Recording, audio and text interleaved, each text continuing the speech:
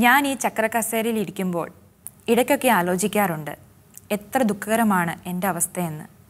മറ്റുള്ളവരുടെ സഹായമില്ലാതെ ഒന്ന് എഴുന്നേൽക്കാനോ നടക്കാനോ എഴുന്നേറ്റാൽ വീണ്ടും ഇരിക്കാനോ എനിക്കാകുന്നില്ലല്ലോ. പക്ഷേ ഞാൻ ഇന്ന് പുതിയൊരു യാത്രയിലാണ്. ഞാൻ കാണുന്നതാകട്ടെ എന്നെപ്പോലെ നിരവധി പേരെയും. അഗ്നിച്ചിറകുമായാണ് അവരുടെ യാത്ര. അഡ്വക്കേറ്റ് സജി മാടശ്ശേരി.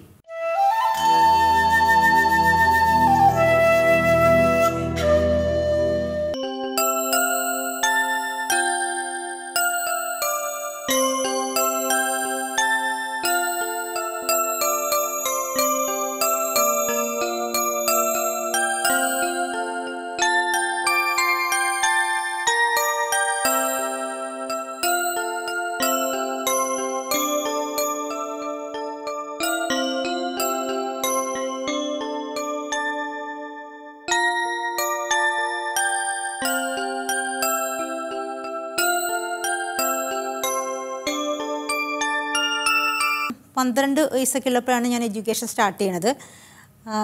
അതായത് എന്റെ അമ്മൂമ്മ അമ്മൂമ്മയാണ് സത്യത്തിൽ എനിക്ക് വിദ്യാഭ്യാസത്തിന്റെ പ്രാധാന്യം അപ്പന്റെ അമ്മ. അമ്മ പറഞ്ഞു പെൺകുട്ടിയാണ് അപ്പം നമുക്ക് വിദ്യാഭ്യാസം കൊടുക്കണം.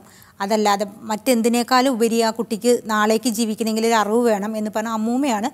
അമ്മൂമ്മയുടെ പരിചയത്തിൽപ്പെട്ട ഒരു അംഗൻവാടി ടീച്ചറെയാണ് എനിക്ക് ട്യൂഷൻ ടീച്ചറായിട്ട് കൊണ്ടുതരുന്നത്. അങ്ങനെ ആ ടീച്ചർ വന്നിട്ട് എന്നെ ബേസിക് ആയിട്ടുള്ള അക്ഷരങ്ങളൊക്കെ പഠിപ്പിച്ചു. അങ്ങനെ ഒന്നാം ക്ലാസ് രണ്ടാം ക്ലാസ് മൂന്നാം ക്ലാസ് അങ്ങനെ ഓരോ വീട്ടിലിരുന്ന് പഠിക്കുകയാണ്. ഞാൻ സ്കൂൾ എന്താണെന്ന് എനിക്കറിയില്ല. സ്കൂൾ ഞാൻ കണ്ടിട്ടില്ല. അപ്പോൾ ഞാനിങ്ങനെ ചോദിക്കും അമ്മയോടൊക്കെ ചോദിക്കും അമ്മ സ്കൂളിൽ ടീച്ചർ എവിടെയാണ് നിൽക്കണത് കുട്ടികൾ എവിടെയാണ് ഇരിക്കണത്? അങ്ങനെയൊക്കെ എനിക്ക് ഭയങ്കര ആകാംക്ഷയായിരുന്നു. പിന്നെ എന്റെ വീടെന്ന് വെച്ച് കഴിഞ്ഞാൽ യു പി സ്കൂളിന്റെയും ഹൈസ്കൂളിന്റെയും ഒരു നടുഭാഗത്താണ്. അപ്പോൾ നേരം വെളുത്ത് രാവിലെ ഇങ്ങനെ വരാന്തയിൽ പോയി ഇരുന്ന് കഴിഞ്ഞാൽ അന്നൊക്കെ പത്ത് മണിക്കാണ് ക്ലാസ് തുടങ്ങുക. അങ്ങോട്ട് പോണ കുട്ടികളെ കാണാം ഹൈസ്കൂളിലേക്ക് പോകണം അപ്പോൾ എനിക്ക് ഭയങ്കര ആഗ്രഹമായിരുന്നു ഇവരൊക്കെ എവിടെ പോകണു എന്നുള്ള ഭയങ്കര ആഗ്രഹമൊക്കെ ഉണ്ടായിരുന്നു. പക്ഷേ അത് കഴിഞ്ഞിട്ട് ഞാൻ വീട്ടിലിരുന്ന് പഠിച്ചു. പിന്നെ ആറാം ക്ലാസ്സിലാണ് ഞാൻ ആദ്യമായിട്ട് എക്സാം എഴുതുന്നത്. ആനുവൽ എക്സാം എഴുതുന്നു. അതിന് മുന്നേ ക്വാർട്ടർലിയും ഹാഫ് ഇയറിലേക്ക് എക്സാം എഴുതാൻ പോയിരുന്നു. അങ്ങനെയാണ് സ്കൂൾ കാണുന്നത്. അത് കഴിഞ്ഞിട്ട് ഏഴാം ക്ലാസ്സിലാണ്. ഏഴാം ക്ലാസ്സിൽ ക്ലാസ്സിൽ പോയി. കുറച്ച് കാലങ്ങളൊക്കെ ക്ലാസ്സിൽ പോയി. അപ്പം വീട്ടിൽ നിന്ന് ആരെങ്കിലും വണ്ടിയിൽ കൊണ്ടാക്കും. അങ്ങനെ ക്ലാസ്സിലിരിക്കും. അങ്ങനെയാണ് ഒരു സ്കൂൾ. പ്രാഥമിക വിദ്യാഭ്യാസം എന്ന് വെച്ചാൽ അവിടെയാണ് സ്റ്റാർട്ട് ചെയ്യണത്. ഏഴാം ക്ലാസ്സിൽ ഏഴാം ക്ലാസ് തൊട്ട്. ഒരു പെണ്ണിനെ സംബന്ധിച്ചിടത്തോളം ഒരുപാട് പരിമിതികളുണ്ട്. ഈ ഒരു അവസ്ഥയിൽ മനസ്സ് ആഗ്രഹിക്കുന്നിടത്ത് ശരീരം എത്തണമെന്നില്ല. എന്നിട്ടും എഡ്യൂക്കേഷന് വലിയ പ്രാധാന്യം കൊടുത്തു. അഭിമാനപൂർവം വക്കീൽ കോട്ടണിഞ്ഞു. ഞാൻ സ്കൂൾ വിദ്യാഭ്യാസമൊക്കെ ആരംഭിക്കുന്നതിന് മുന്നേ അതായത് വീട്ടിൽ വെറുതെ അങ്ങോട്ട് കുട്ടികൾ സ്കൂളിൽ പോകണം നോക്കിയിരിക്കുന്ന സമയത്ത് തന്നെ എനിക്ക് ഭയങ്കര ആഗ്രഹമായിരുന്നു വക്കീലാവണമെന്ന് അതായത് ഞാൻ അക്ഷരം പോലും പഠിച്ചിട്ടില്ല കേട്ടോ. അതെന്തുകൊണ്ടാണ് അങ്ങനെ ഒരു ആഗ്രഹം? ആഗ്രഹത്തിന് കാരണം എന്ന് വെച്ച് കഴിഞ്ഞാൽ നമ്മൾ അന്ന് ഇങ്ങനെ ടി വിയിലൊക്കെ സിനിമകൾ കാണും. ഒരു ബാലിശമായ ആഗ്രഹമായിരിക്കാം നിങ്ങൾക്ക് തോന്നുമായിരിക്കും പക്ഷേ അതാണ് സത്യം. ഈ മമ്മൂട്ടിയുടെ ഒക്കെ ഫിലിം ഉണ്ടല്ലോ മമ്മൂട്ടിയൊക്കെ കോടതിയിൽ ഭയങ്കരമായിട്ട് നമ്മളെ ലോകം എന്ന് വെച്ചാൽ ഈ ടി വി അങ്ങനത്തെയൊക്കെ ഉള്ളൂ. നമുക്കല്ലാണ്ട് വേറെ ഫ്രണ്ട്സും അങ്ങനെയൊന്നും ഇല്ലല്ലോ.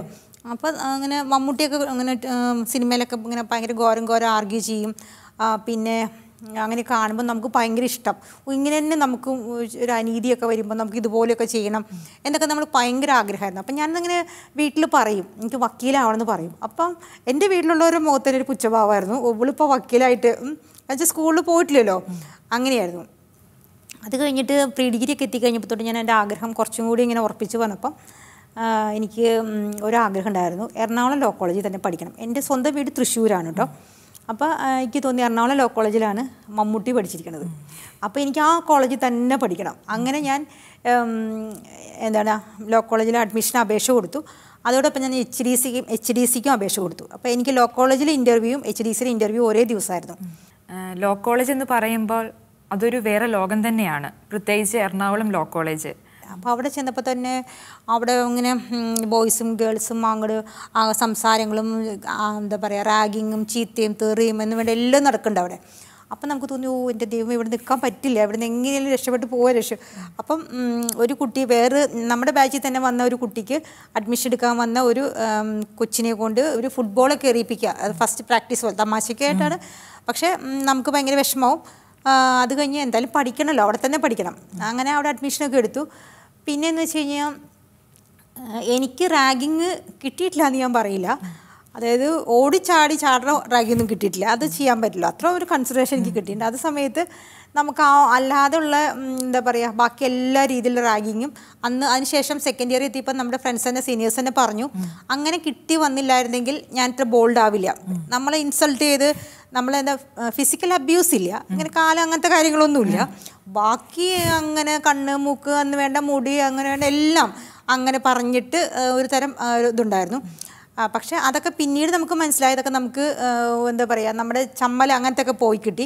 നമുക്ക് ബോൾഡായിട്ട് ഇപ്പോൾ കോടതിയിലാണെങ്കിലും ഒരു കേസ് വിസ്തരിക്കുമ്പോൾ നമുക്ക് അതിന്റെ ഡീറ്റെയിലേക്ക് പോകണം ഒരു സംഭവം ഉണ്ടായി.